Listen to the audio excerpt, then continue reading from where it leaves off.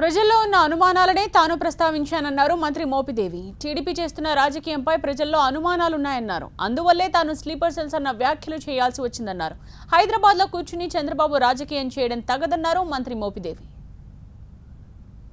నువ్వు కూడా ఒక భాగస్వామిగా అయ్యి దర్శించాల్సిందలా పోయి నువ్వెక్కడో రాష్ట్ర పక్కన ఉన్నటువంటి తెలంగాణ రాష్ట్రంలో కూర్చుని హాయిగా నువ్వే నువ్వు మాత్రం కోవిడ్ నివారణకు సంబంధించి అవసరమైన పూర్తి లాక్డౌన్ నియమ నిబంధనలన్నీ పాటిస్తూ ఆడ కూర్చుని ట్విట్టర్ ద్వారానో లేకపోతే నీకు ఉన్నటువంటి సాధనాల ద్వారానో మరి ప్రభుత్వం చేస్తున్నటువంటి చర్యలను విమర్శించడం అనేటువంటి సరైనది కాదు.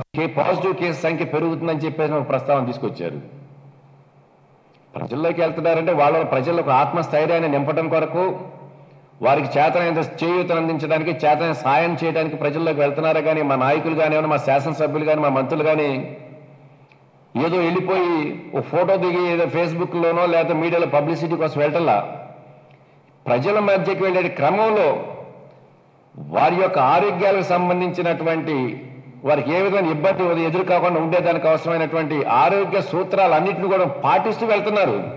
సపోజ్ సంబంధించిన ఒక శాఖ మంత్రిగా నేను నా శాఖకు సంబంధించి ఎదురైనటువంటి ఇబ్బందులు అధిగమించడానికి కొన్ని ప్రాంతాలను పర్యటన చేశా. కానీ ఎక్కడికి వెళ్ళినప్పుడు కూడాను నా నియమ నిబంధనల్ని పాటించుకుంటూ ప్రభుత్వం ఇచ్చినటువంటి నివారణ చర్యలకు సంబంధించినటువంటి చర్యలన్నింటినీ కూడా నేను పాటిస్తూనే పర్యటన చేశా. అదేవిధంగా మా నాయకులు కానీ మా శాసనసభ్యులు కానీ వెళ్తున్నారు. దాన్ని నువ్వు ఆ విధంగా హర్షించాల్సిన తప్ప నువ్వు నీకులాగా ఇళ్ళలో కూర్చోలేదు.